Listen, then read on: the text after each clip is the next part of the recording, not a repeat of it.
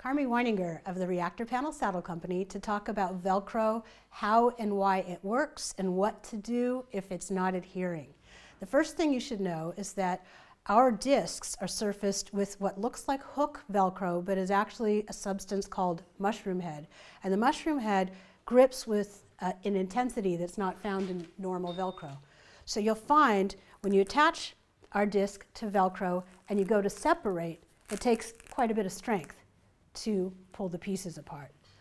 Every time that you do separate the Velcro, the loop underneath the Velcro disc is slightly damaged. After maybe 20 or 30 duty cycles, you may find that your disc no longer sticks to the loop part of either your panels or your saddle. To determine what the problem is, it's a good idea to put your disc in the place where you typically seat it. We'll call this the disc zone. Push and turn and see how much effort it takes to remove it. You see I did this with two fingers. Next, put your disc in an area that you don't commonly use to adjust your saddle, say in the very center, push and turn.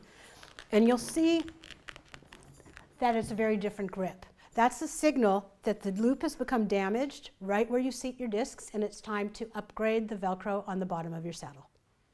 The Velcro on your panels may also be the problem. Again, just as with your saddle, put the disc into the place where you commonly seat it, push and turn, and if it comes off really easily, you know that it's time to replace your Velcro. Important note, you should replace your Velcro or upgrade your Velcro before it's gotten in really bad shape because you want enough good loop Velcro left on your panel that it will hold on to your Velcro upgrade. The Velcro upgrade comes in a package. There are three sizes. You can see this 23 is circled. That's our standard size. If you have short 22 inch panels or long 24 inch panels, be sure to order the right Velcro upgrade kit from us. There are two pieces in the kit, one for each part of your, or one for each panel. To apply the Velcro, we recommend that you work off your hard top edge, meaning begin by mating the corner of the Velcro on your upgrade to the corner of the Velcro on your panel.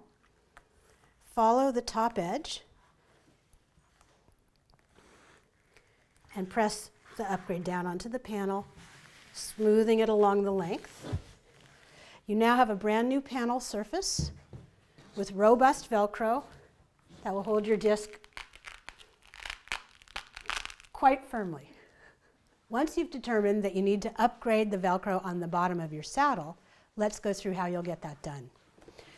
The ReactorPanel saddle has two gullet plates, one on the right, one on the left. They are attached by four screws. On this side you can clearly see all four screws, two in the front and two in the rear.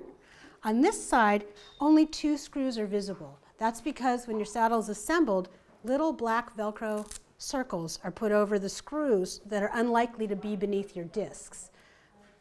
When we're upgrading the Velcro on the saddle, if the loop that's here is in really good shape, we're only going to loosen and replace two screws.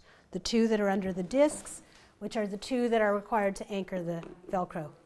So we're going to back out these two screws. If your loop Velcro is not in very good shape, you may feel that it's a better move to take out all four screws to really fix your new upgrade. The upgrades come in a package. The package has two pieces, one for the left and one for the right. You'll need to verify the measurement of the length of your gullet plate by measuring from the middle of the front to the middle of the back, and you can see this is an 18 and a half inch gullet plate. So I have here an 18 and a half inch Velcro upgrade kit. So to start, we're going to put the screw through the pre-drilled hole that's in your Velcro upgrade. Take your bag, lay it along the length of your saddle, and we're going to put the screw into the screw hole in the front and give a couple of quick turns with the screwdriver to anchor.